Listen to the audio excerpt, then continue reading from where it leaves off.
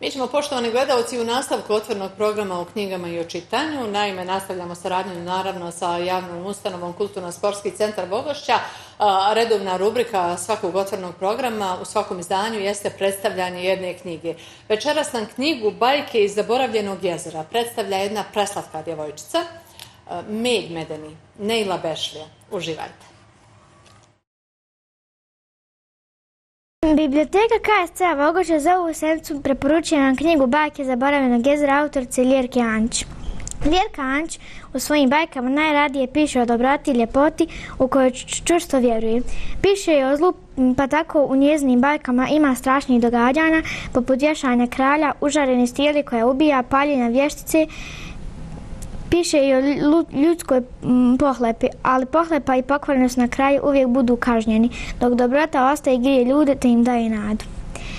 U ovim bajkama postoje lijepa zapažanja i čudne slike koje se ne nalaze tu slučajno.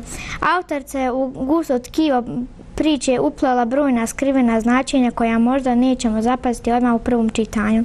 Pisci ne vole odmah reći baš sve pa nam se neke stvari mogu otkriti tek kad se opet vratimo knjizi i pozabavimo se s njom. Bajke zaboravljenog jezera zamišljene su to tako da se mogu stalno nastavljati, pa, pa tako prva bajka govori o maloj princezi koja nije bila lijepa, kao što su to ostalo, kao što su to princeze inače jesu u pričama, ali je imala dobro srce i u svemu je vidjela ljepotu i radost. Njezina želja da usreći ljude oko sebe je dovela u nevolje iz kojih se na kraju izvukla, ali je postala kraljica suza radosnica i život je morala provoditi na dnu zaboravljenog jezera i dijeliti dvorac s tužnim kraljem. Tužni kralj se pak na dnu zaboravljenog jezera našao zbog svoje oholosti pohlepi. Glavna bajka ove prelijepe zbirke po kojoj je i nazvana ova knjiga jeste bajka zaboravljenog jezera. Glavni lik ove bajke jeste mala princeza koja je izuzetno veselo biće koja se s prijateljem čobanom provodi svoje vrijeme slušajući frulicu. Kad je napunila određeni broj godina, počela je razmišljati o svojoj ljepoti koja joj je falila. Zmija joj je predložila da ona uđe u njeno srce u zamjenu za ljepotu. Princeza je pristala, postala je najljepša djevojka, ali joj se ali joj je srce postalo teško.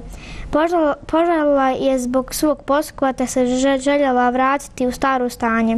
Svake godine jednog dana u maju prođe pored zaboravljenog jezera čoban i svirajući onu melodiju koja mala princeza nije čula na dan svog prvog bala i tada se u oku kraljice suza radosnica rodi još jedan novi blistavi vojnik.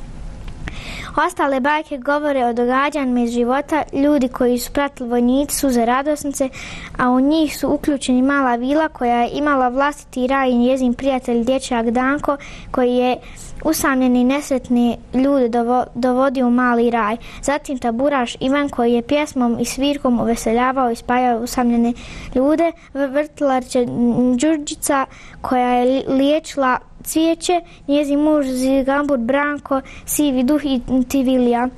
U ovim bajkama se kriju brojne sjajne rečence koje ne trebamo tek tako preskočiti, poput one o maloj vili čija je čežnja bila neodoljivo jaka, toliko da je ona jednog dana od čežnje potpuno iščezla. Bajke su čudo neviđenu. Njima vrijeme izgleda ne može ništa. I u najstarijim vremenima one su svojom magijom očaravale djecu, a evo i danas.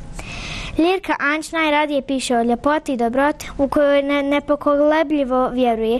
Bajke zaboravljenog jezera su zamišljene tako da se mogu stalno nastavljati. Kao i u čuvenoj hiljadu i jednoj noći, ovdje se kluplo pri, klupko priče neprekidano odmotava i nikad se ne zna gdje mu je kraj. Autorca ove izvrsne zbirke bajki i priča nam poručuje da je unutrašnja ljepota vrednija od vanjske ljepote, te da tu ljepotu trebamo znati cijeniti njegovati. A što se sve na kraju dogodilo s malom princezom saznaćete ako pročitate knjigu Bajke zaboravljenog jezera.